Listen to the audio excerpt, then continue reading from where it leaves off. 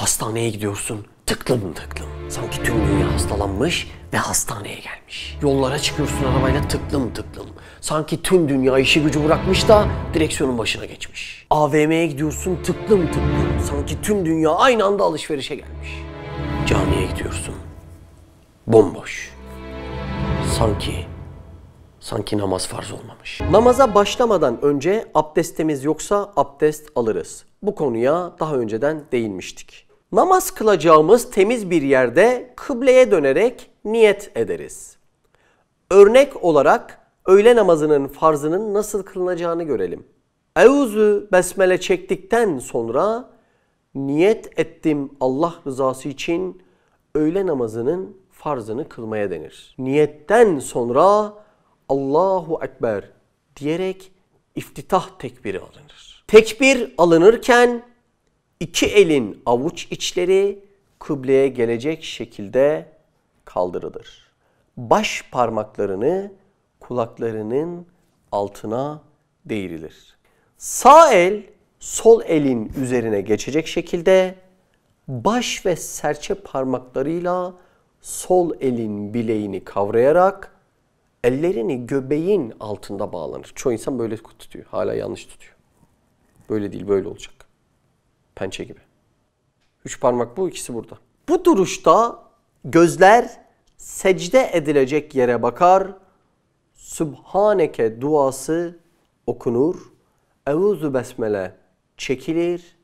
Fatiha suresi okunur. Besmele çekmeden bir sure veya birkaç ayet okunur. Allahu Ekber diyerek rükuya gidilir. Rükuda eller dizlerin üzerine konulur. Diz ve dirsekler düz tutulur, sırt dik ve yere paraleldir. Rükudeyken üç defa Sübhane Rabbiyel Azim denir.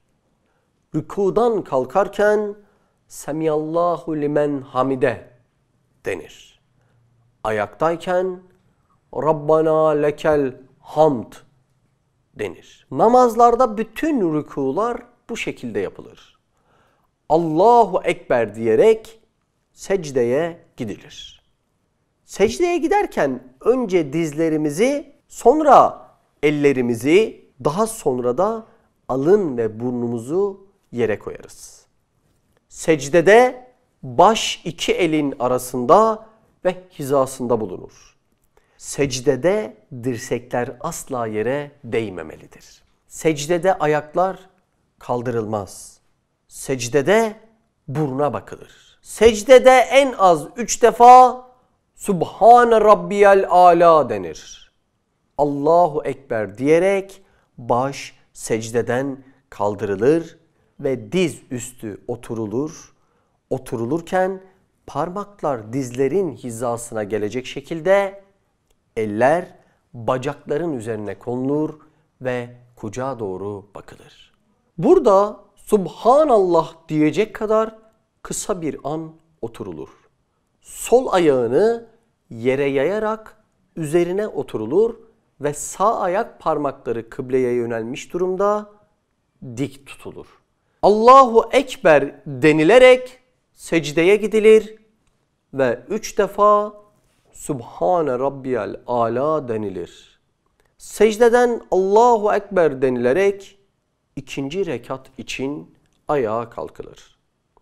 Secdeden kalkarken önce baş, sonra eller ve daha sonra da elleri dizlerin üzerine koyarak dizler yerden kaldırılır. Böylece birinci rekat tamamlanmış olur. İkinci rekatta eller birinci rekattaki gibi bağlanarak ayakta durulur.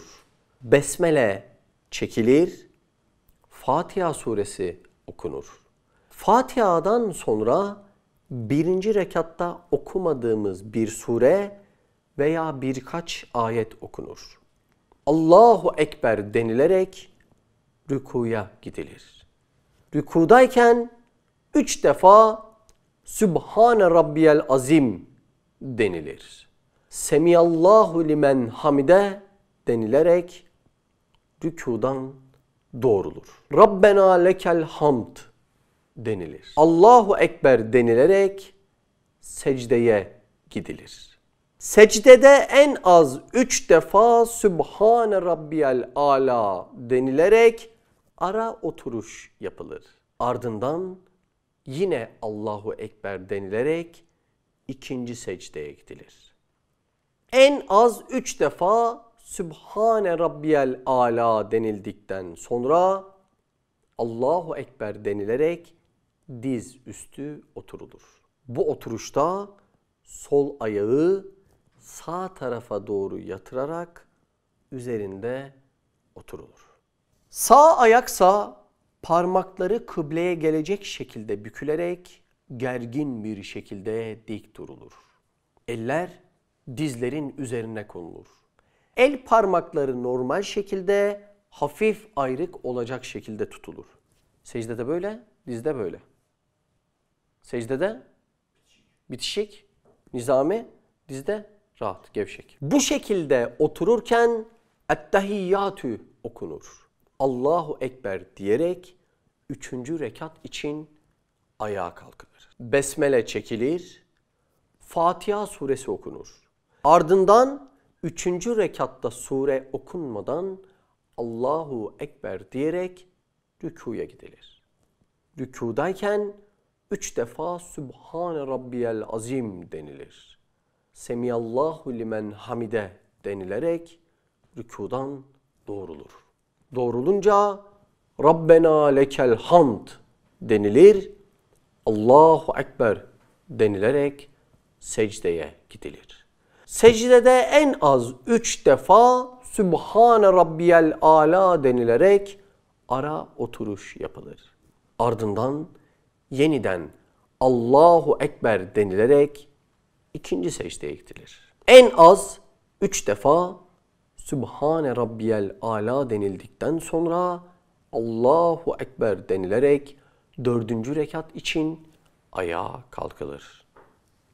Besmele çekilir, Fatiha suresi okunur. Ardından dördüncü rekatta sure okunmadan Allahu Ekber denilerek rükuya gidilir.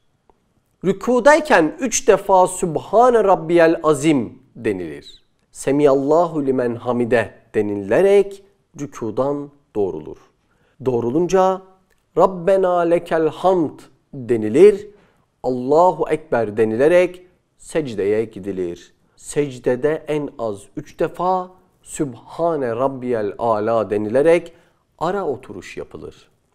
Ardından yeniden Allahu Ekber denilerek ikinci secdeye gidilir. En az üç defa Sübhane Rabbiyel Ala denildikten sonra diz üstü oturulur. Bu oturuşta aynı ilk oturuş gibidir. Bu şekilde otururken önce Ettehiyyatü duası okunur, sonra salli ve barik duaları okunur ve en son Rabbena duaları okunur. Dualar bitince önce Esselamu Aleyküm ve Rahmetullah diyerek sağ tarafa sonra da Esselamu Aleyküm ve Rahmetullah diyerek sol tarafa selam verilir. Selam verilirken gözler omuz tarafına bakar. Böylece öğle namazının farzı tamamlanmış olur. Dört rekat olan bütün farz namazları aynen bu şekilde kılınır. Namaza kılma ve başlama noktalarını sakın geciktirme, erteleme. Biraz daha vakit var, şu işim de bitsin deme. Şeytanın en büyük destelerinden bir tanesidir. Tam olarak bu. Yahu şimdi başlasam beş vakitim nasıl oturacak? Ben en iyisi ileride beş vakitimin oturacağını kendime hazır hissettiğimde başlayayım deme. Gerekirse o anın namazını mutlaka borç niyetiyle düşün ve öde. Namaz kılarken yapabileceğin en büyük ama en büyük hata o namazı kılmamandır. Unutma.